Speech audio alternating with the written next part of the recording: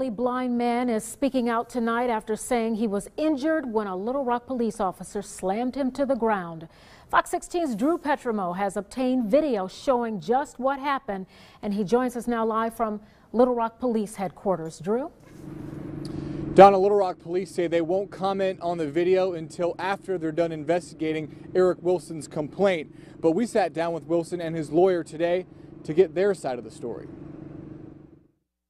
I had just got off of work. It was just before 4 o'clock Monday, June 1st.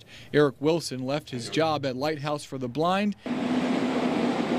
and missed the bus, so he started to walk home along 65th Street. Show us out at 65th and Lakeview and reference to this call.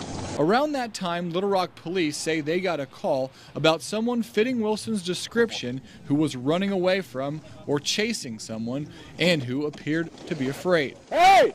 Come over here, talk to me. Wilson is legally blind and says he only sees shadows. He says he didn't know who it was that was calling him. Could have possibly been getting robbed or, you know, I didn't know what was about to happen. Get your hands pocket. The officers tell Wilson to put his hands behind his back and then he's taken to the ground.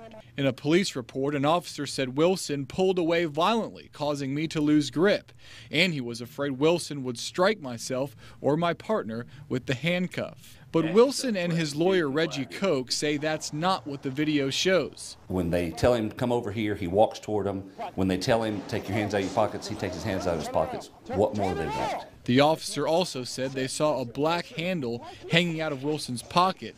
It is 1353. But that turned out to be a clock that reads Wilson the time. Why would I get thrown to the ground?